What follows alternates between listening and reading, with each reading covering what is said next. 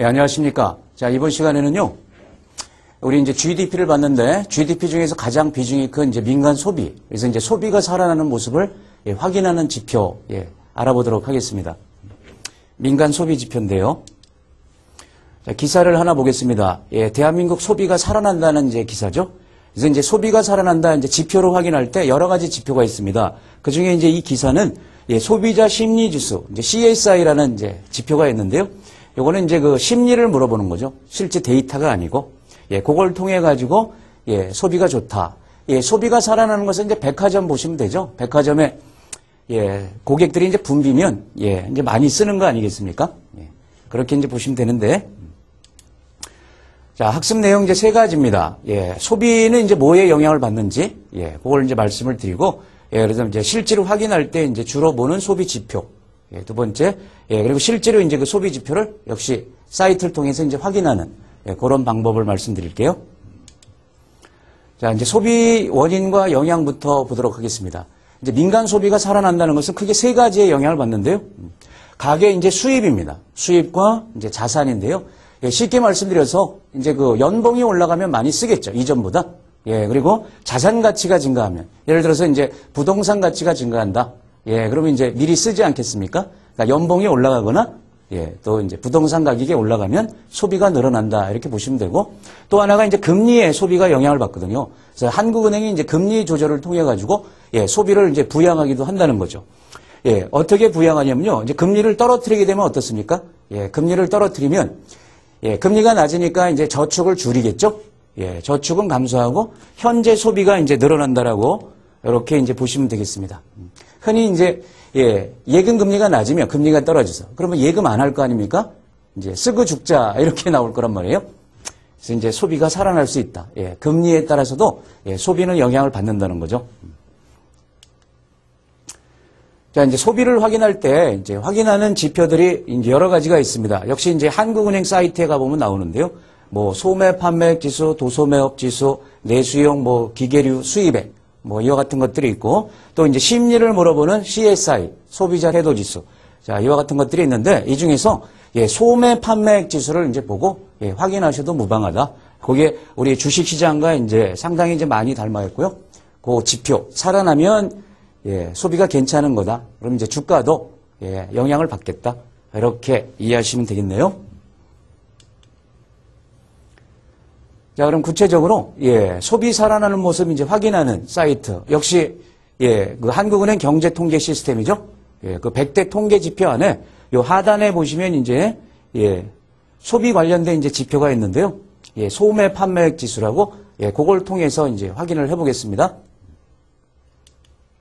실제로 그걸 클릭하시면 이렇게 이제 막대 그래프가 뜹니다. 아, 죄송합니다. 예, 이렇게 이제 막대 그래프가 뜨는데 예, 이 위쪽에 있으면 이제 소비가 괜찮은 겁니다. 여기 전년 동기 대비라고 돼 있죠. 그래서 이제 위에 있으면은 소비가 꾸준히 살아나고 있다. 예, 이렇게 이제 판단하시면 되는데, 예, 그러면 실제, 예, 역시 사이트를 들어가 보겠습니다.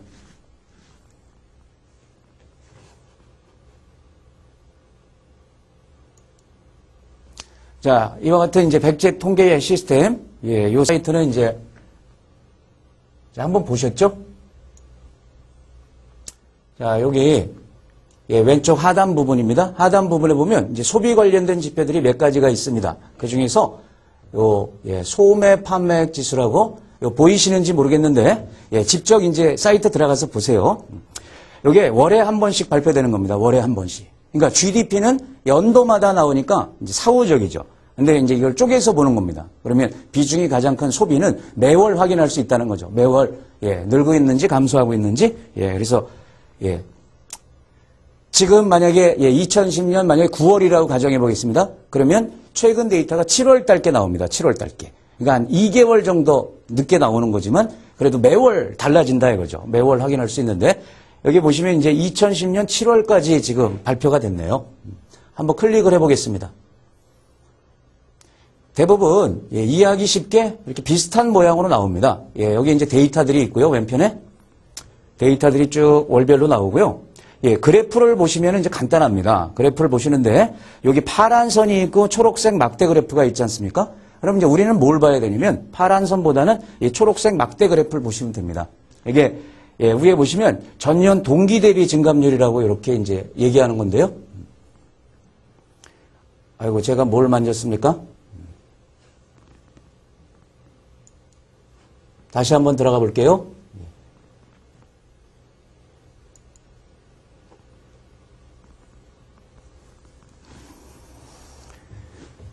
자, 이렇게 이제 막대 그래프를 보시는데 전년 동기 대비 증감률이라고 이렇게 이제 나와 있거든요. 네. 우리가 데이터를 볼 때요. 전기 대비로 발표하는 게 있고요. 전년 동기 대비 이렇게 발표하는 게 있는데 이 소비라는 것은 이런 개별 지표들은 통상 전년 동기 대비를 보는 게 중요합니다. 그러면 저기 소비는요. 매월 발표되는데 예, 7월, 8월이 6월에 비해서는 항상 소비 지표가 크게 나옵니다. 증가한 것처럼. 그 왜 그렇습니까?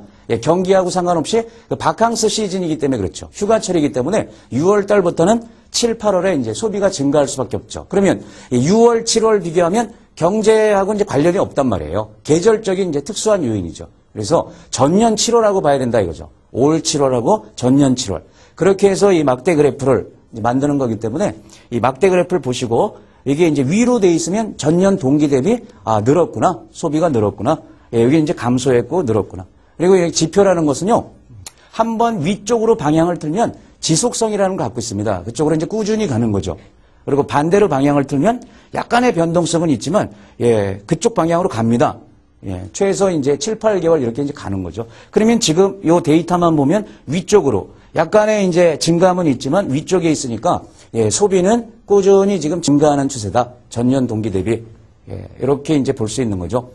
자, 그리고 이제 소비가 살아나면 뭐가 좋습니까? 이제 내수가 살아난다는 거니까 예, 우리가 이제 주식에 투자할 때도 예, 이제 그 종목을 골라야 되는데 자, 우리 종목 고르기 어려우면 그럼 펀드 매니저들을 생각해 보겠습니다. 애널리스트나 펀드 매니저들은 예, 소비 관련된 이제 주식을 많이 이제 발굴하겠죠. 이쪽이 좋아지고 있으니까 그럼 이제 내수 관련이죠. 예를 들면 뭐 신세계나 네, 이런 것들 내수와 관련된 거. 예, 그런 종목을 펀드에다가 이제 많이 실겠다. 이제 그렇게 보시면 됩니다. 그런 이제 애널들도 펀드 매니저들도 이런 사이트를 통해 가지고 이제 예, 소비 살아나는 걸 확인한다고 이렇게 보시면 되겠습니다.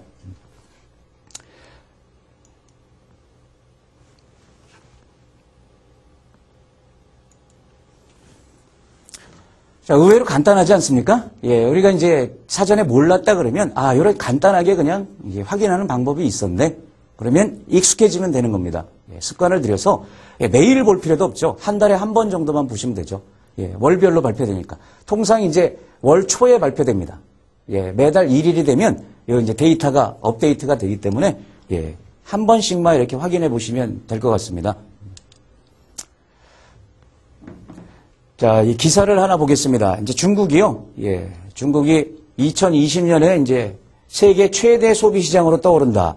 예. 중국은 지금 전체 GDP에서 소비가 차지하는 비중이 한 30% 정도 됩니다. 선진국들은 50%가 넘는데 아직까지 중국은 예, 소비 비중보다는 예, 그 수출 비중이 굉장히 크죠. 예, 중국 경제가 굉장히 크고 있다는 건 다 이제 아시는 거고 근데 이제 수출이 잘 돼가지고 수출 비중이 크고 또 기업 투자 비중이 큽니다. 예. 전 세계 공장이 전부 중국으로 들어가고 있지 않습니까? 그래서 이제 투자 비중, 예, 수출 비중이 큰 게 중국인데 중국도 이제 앞으로 소비 비중이 선진국처럼 50% 이상 이제 늘어난다라고 이렇게 이제 볼 수 있다는 겁니다. 지금 30% 정도밖에 안 되는데 여러분 이제 중국 인구가 13억이 넘죠. 예, 중국 13억이 목욕하기 시작하면 대책이 없는 겁니다.